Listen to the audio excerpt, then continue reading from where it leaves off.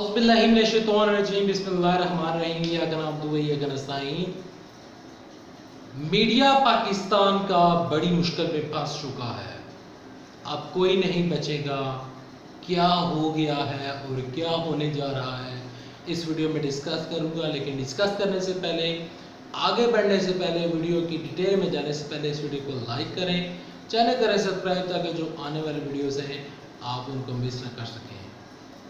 کس کس کو یاد ہے ڈاکٹر شاہ مسعود کی وہ ہاتھ میں لگی ہوئی ہتکڑیاں اور کس کس کو یاد ہے کہ ڈاکٹر شاہ مسعود جب ستر دن جیل سے رہنے کے بعد واپس آئے اور انہوں نے اپنی داستان سنائی، اور کس کس کو یاد ہے کہ ڈاکٹر شاہ مسعود نے جو جیل کاٹی، ایک محب وطن پاکستانی ہونے کے ناطے، ایک محب وطن پاکستانی صحافی ہونے کے ناطے جو انہوں نے جیل کاٹی اور ان کے اوپر جو مقدمہ تھا، P T V corruption case جو کہ ابھی تک ثابت نہیں ہو سکا۔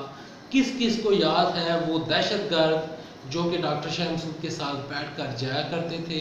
کس کس کو یاد ہے کہ ڈاکٹر شاہ مسعود باقاعدہ طور پر جب اسپتال میں ایڈمٹ تھے تو ان کو جو جو ان کی طبیعت خراب تھی اور جو ان کے ساتھ بیتی، ان کو جو ان کا دل کی پوزیشن رہی، جو ان کے دماغ کی پوزیشن رہی اور کس کس کو یاد ہے کہ ڈاکٹر شاہ مسعود نے پاکستان کی خاطر کتنی عظیم قربانیاں دیں اور ہمیشہ سچ بولنے کا ساتھ دیا۔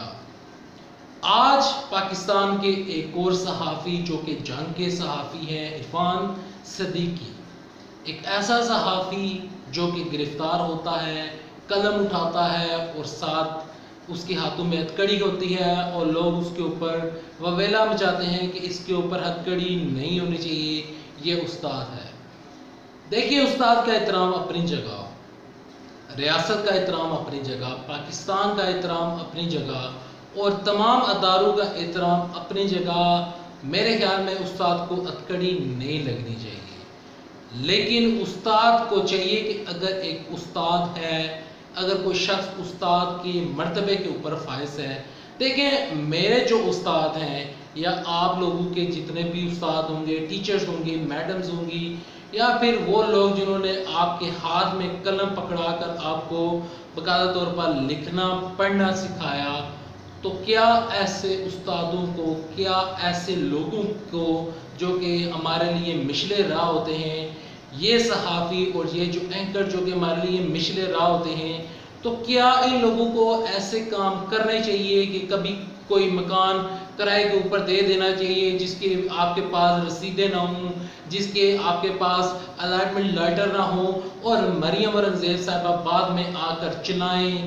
مسلم لیگ نور کے جتنے بھی لوگ ہیں، وہ چیہیں، چلائیں۔ کتنے صحافی، کتنے میڈیا اینکرز اور کتنے سارے وہ لوگ جو کہ میں دیکھ رہا ہوں ٹویٹر کے اوپر سارے لوگ چلا رہے ہیں اور ایک ہی چیز کہہ رہے ہیں کہ نا انصافی ہوگی نا انصافی اس ٹائم ہوتی ہے جب ایک شخص استاد ہو اور اس طرح کا کام کرے جو کہ پاکستان کے خلاف ہو اور یہاں پر نیشنل ایکشن پلان کی بھی میں بات کروں گا اور مزید آگے بڑھنے سے پہلے حامد میر کو انکلوڈ کر لیتے ہیں۔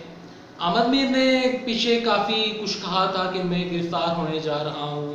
تو اب یہ ان کے لیے ایک الارمنگ وارننگ ہے۔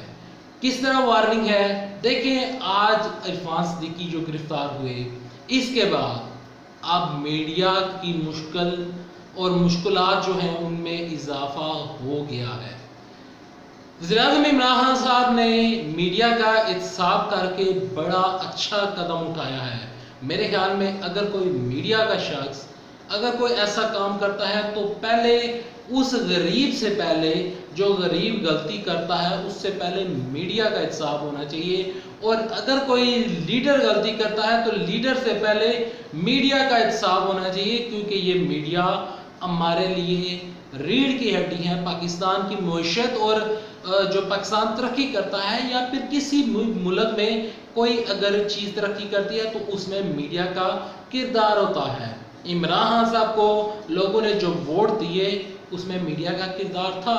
میڈیا نے کافی لوگوں کو موٹیویٹ کیا باقاعدہ طور پر بتایا کہ عمران خان صاحب کو آپ سلیکٹ کریں باقاعدہ طور پہ جا کر ان کو ووٹ دیں اور آپ عمران خان صاحب کو اگر الیکٹ کریں گے اور سب کچھ کریں گے تو آپ کے لیے اچھا ہے۔ میڈیا نے اچھا رول کردار ادا کیا۔ اور یہی میڈیا جب مریم نواز صاحبہ نواز شریف کے بارے میں اپنی رائے قائم کرتا ہے اور ایسے کالم لکھتا ہے اور جیسا کہ عرفان صدیقی نے لکھے اور اپنے قلم کو بیچتا ہے، تو پھر اس ٹائم میڈیا کا احتساب کرنا لازمی ہو جاتا ہے۔ دیکھیں، ہمارے نبی کرم صلی اللہ علیہ وسلم نے فرمایا تھا کہ اگر میری بیٹی فاطمہ رضی اللہ عنہ بھی چوری کرتی، تو میں ان کو بھی یہاں پر وہی سزا دیتا یعنی کہ ہاتھ کاٹ دیتا، انہوں نے باقاعدہ طور پر فرمایا تھا۔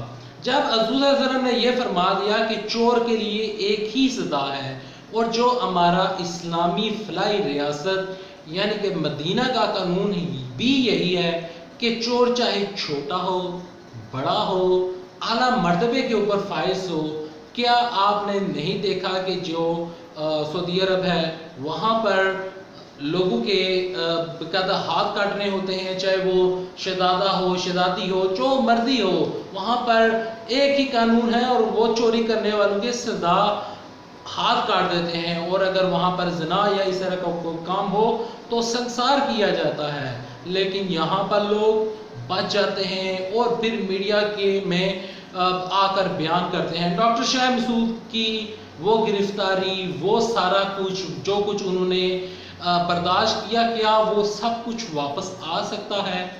میں الفاظ کہہ رہا ہوں، میرے الفاظ آپ سن رہے ہیں۔ یہ الفاظ واپس نہیں آ سکتے۔ آپ کے جو دن گزر گئے ہیں، وہ واپس نہیں آ سکتے۔ جو ڈاکٹر شاہ مسعود نے زندگی کے دن گزارے جیل میں، وہ واپس نہیں آ سکتے۔ جب یہ لوگ نیکسٹ لوگ کوئی بھی جب لوگ جائیں گے، جب اس طرح کے آج ایک اور صحافی چلا گیا ہے، کل ایک اور صحافی جب جیل میں جائے گا اور جب جیل کی ہوا کھائے گا، تو اس ٹائم اس کو یاد آنا چاہیے اور یقیناً آئے گا کہ میں نے لفافہ کیوں لیا تھا؟ جب آپ لفافہ لیتے ہیں، تو آپ قوم سے ملک سے غداری کرتے ہیں؟ تو جو شخص قوم سے غداری کرے، ملک سے غداری کرے، تو میرے خیال میں وہ استاد کہلوانے کا لائق نہیں ہے۔ میں الفاظ بڑے بڑے یوز کر رہا ہوں، سچی، کڑوی باتیں کر رہا ہوں، شاید کسی کو اعتراض ہو، نہیں، آپ استاد کی عزت نہیں کر رہے ہو۔ استاد کا احترام سر آنکھوں کے اوپر۔ استاد کے بنا ہم کچھ نہیں ہیں۔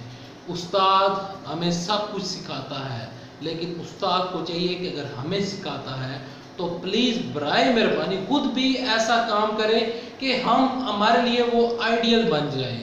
اب جو اینکرز ہیں شاہ مسعود ہو گئے، حامد میر ہو گئے، صابر شاکر ہو گئے، کاشف قدر طور پر ہو گئے۔ اس کے علاوہ جتنے بھی اینکرز ہیں، سید طلب حسین ہو گئے شرازی ہوگی جیسمین منظور ہوگی اگر یہ لوگ ایسا کام کریں میڈیا کے اوپر بھی آ کر کوئی اچھا کام کریں گے، تو وہ ہمارے لیے آئیڈیل ہوں گے۔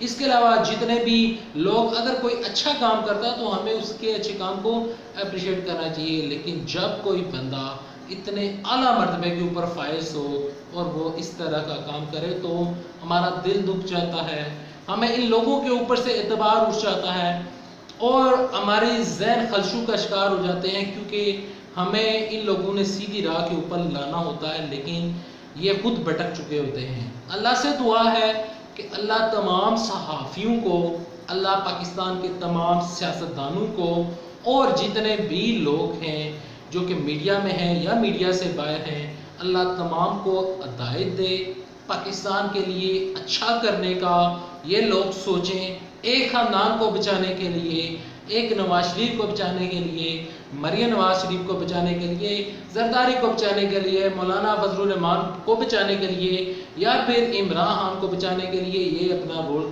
ادا نہ کریں، بلکہ یہ رول وہ ادا کریں جو پاکستان کے لیے ہے۔ دیکھیں پاکستان کی جو فوج ہے، کیا اس نے کبھی کسی لیڈر کا سوچا؟ پاکستانی فوج آپ کا، میرا اور اس ملک کا سوچتی ہے اور اپنی جان دیتی ہے۔ ہمیں وہ اینکر کی ضرورت ہے، ہمیں میڈیا کے وہ تمام نمائندگان کی ضرورت ہے جو کہ پاکستان کے لیے جان دے دیں۔ لیکن لفافہ نہ لیں۔ ہمیں وہ لوگ چاہیے جو پاکستان کی ترقی کے لیے اپنا کردار ادا کریں، لیکن لفافہ نہ لیں۔ اور ہمیں وہ لوگ چاہیے جو پاکستان کے لیے خالص طور پر پاکستان کے لیے کام کریں۔ اور ان کے ذہن میں صرف ایک چیز ہونا چاہیے، سب سے پہلے پاکستان۔ یہ نعرہ لگایا تھا مشرف نے، لیکن اس نعرے کو ہمیں اپنانا چاہیے۔ یہ نہیں کہ مشرف نے کہا تھا، تو میں مشرف کو مانتا ہوں، میں اس کے اس بات کو مانتا ہوں کہ سب سے پہلے پاکستان۔ ہمارے لیے سب سے پہلے پاکستان ہونا چاہیے۔ جب ہم اٹھتے، بیٹھتے، سوتے جاتے یہ سوچیں گے کہ یہ جو دھرتی ماں ہے، جو کہ قائد اعظم نے ہمیں بڑا پیارا تحفہ دیا تھا، اب ہمیں اس کو صحیح کر کے یوٹیلائز کرنا پڑے گا اور اس کے جتنے بھی ذخائر ہیں، اس کو استعمال کر کے پاکستان کو اوپر لے کے جانا پڑے گا اور پھر اقبال کا، علامہ اقبال کا اور قائد اعظم کا پاکستان بنے گا اور تب بنے گا جب ہمارے ذہن میں ایمانت داری ہوگی۔